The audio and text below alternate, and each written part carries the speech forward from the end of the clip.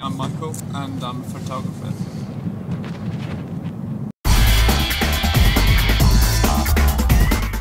People think they can just turn up anywhere with a camera, Yeah, just take a but snap. it takes a lot more preparation.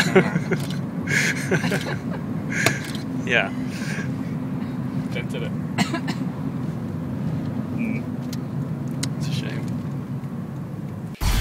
Michael Robinson is a widely acclaimed international photographer and five times winner of the Magnum Photographer of the Year award and the only winner of the Hottest New Photographer and Lifetime Achievement Award for Time magazine in the same year.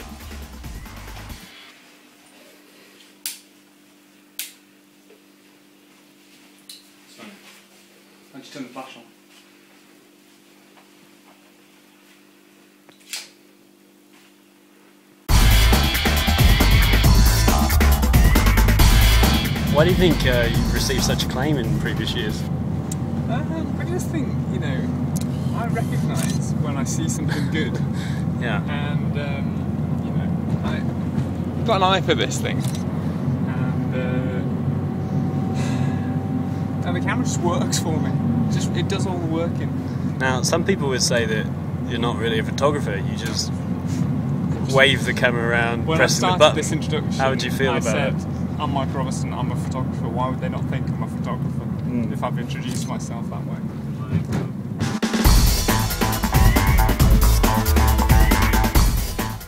Michael, um, if I could just grab you for two seconds. Um, first of all, congratulations on landing the uh, Miriam and Josh wedding uh, contract as the hottest, most talked about wedding uh, in the of the year. Um, can you tell us a bit about how you feel about securing this project? Oh well, um, obviously it's um, it was going to happen really. Um, You know, I, I put my bid in um, during the tender process, um, and uh, I, I'm pretty sure I submitted some of my best work. Um, I mean, may I show you? Perhaps? Yeah, sure. Um, but I mean that in particular. Um, that as well. Hmm. I mean, you know, the pictures that I was trying to send in, you know, were were really.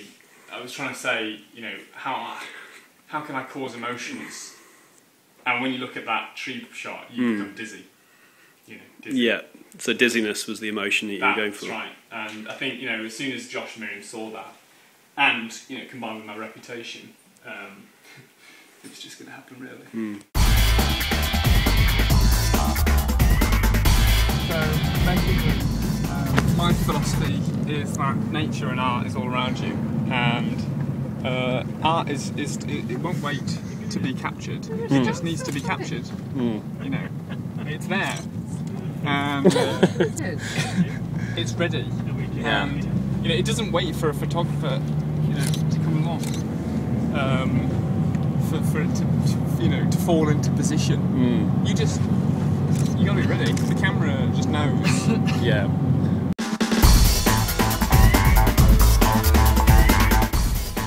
So, Michael, uh, how do you feel about working with these uh, clients of yours, Josh and Miriam?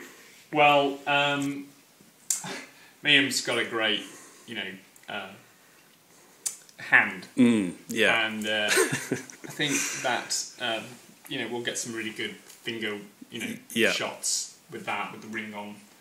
Um, Josh, uh, you know, it looks really hot right now with that mustache Mm. um, that he's got.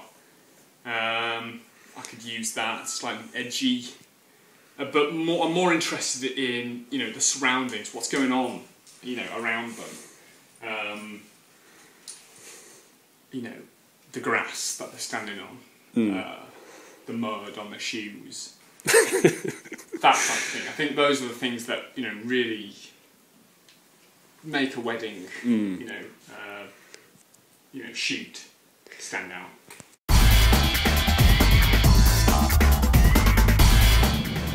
this is the scruff of this neck. Sometimes I really, you know. Tell us a I'm- bit about I'm your sorry, camera, Mike. That What are you working with? Here? well, this is a Canon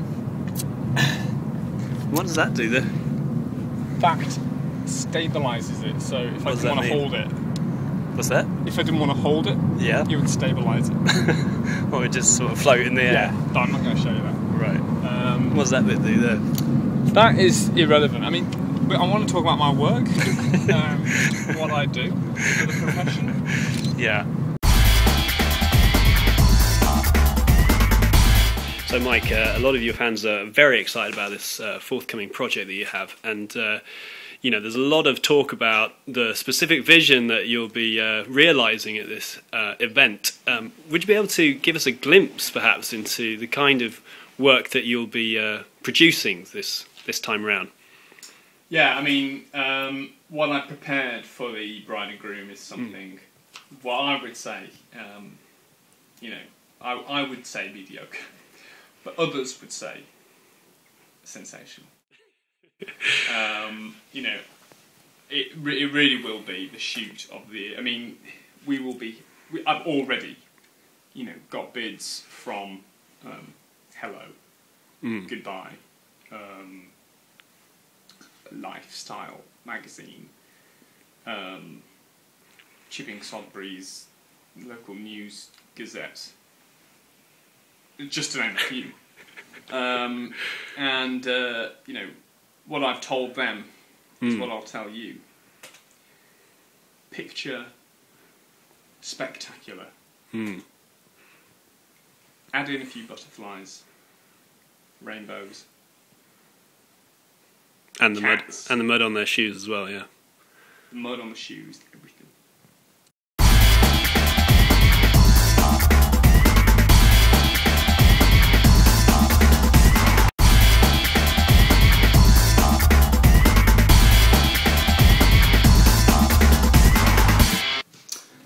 Josh, I hope you've enjoyed our little video.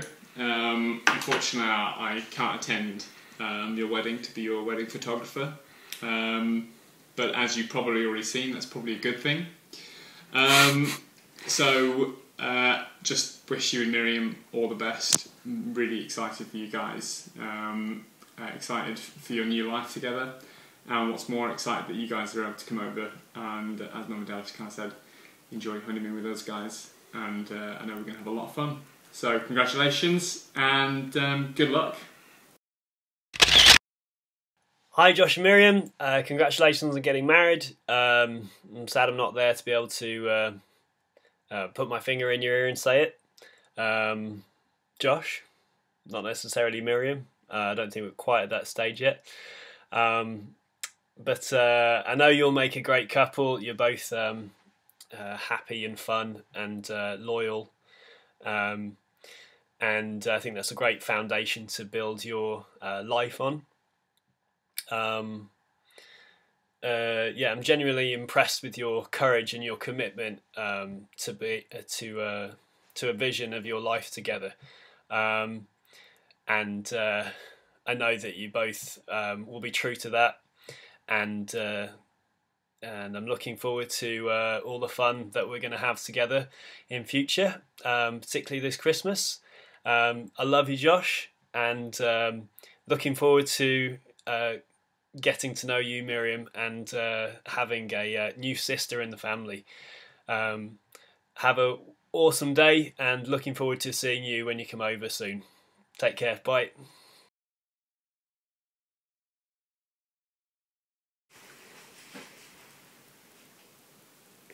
Michael, could I just grab you for one moment just to ask you a quick question? Um, uh, was there a particular moment where you just knew that you uh, were a photographer? I think it was the time when I was at home and it was uh, a cold, cold day. And I, you know, my father had left his camera lying around. And I noticed on the floor that the dirt uh, in the carpet was um, very swirly. And I wanted to capture that swirliness and you know really express that intimate detail that is in, in every one of our houses you know, across across the country. And express something that people have never seen before, or really, you know, try to observe. You know, you just look outside. It's your average shot. When have you not seen that in a magazine? When have you not seen that on a postcard? We're bored. So your goal is really to extend people's vision or perception, you know, help them to see things that haven't been seen before. Exactly. So- I want them to see the nitty gritty. What kinds of things then? If you could give me a list maybe of some of the things that you think people are missing in this world that you try to capture. What does dust look like? Describe dust to me. You can't, can you? Mm. That's what I do.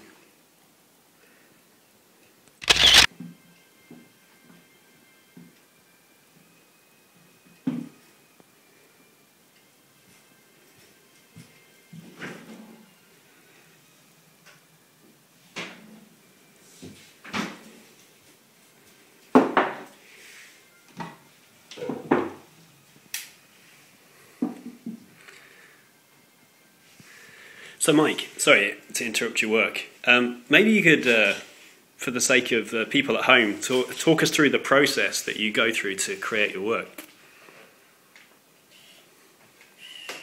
Well, I mean, as you can see, it's um, what I would say. I would, some would describe as unorthodox, Hmm.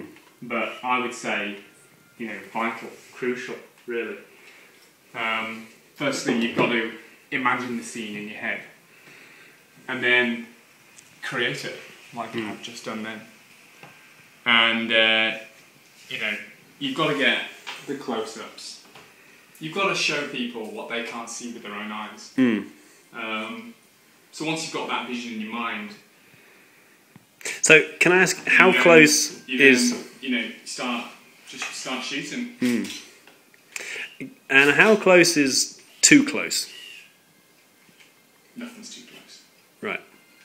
Nothing's too close. Hmm. Um, do you have a particular um, memory of the first photograph you took where, um, you know, uh, you sort of consolidated your process, so to speak?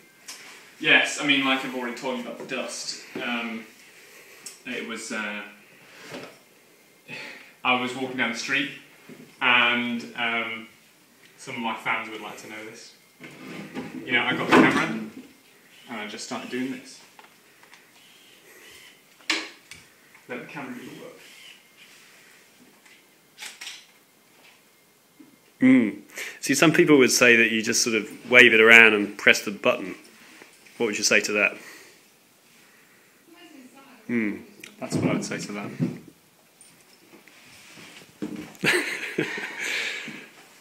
Nice. So, um, uh, a lot of people admire your sense of fashion, and uh, it's created quite a stir. Um, could you talk us through the particular fashion choices that you know make you such an iconic photographer? Well, firstly, a lot of fur Hmm. and a lot of warmth. Yeah, I mean, why are you wearing glasses, for example?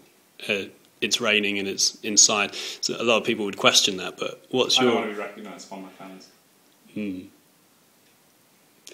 Um, right.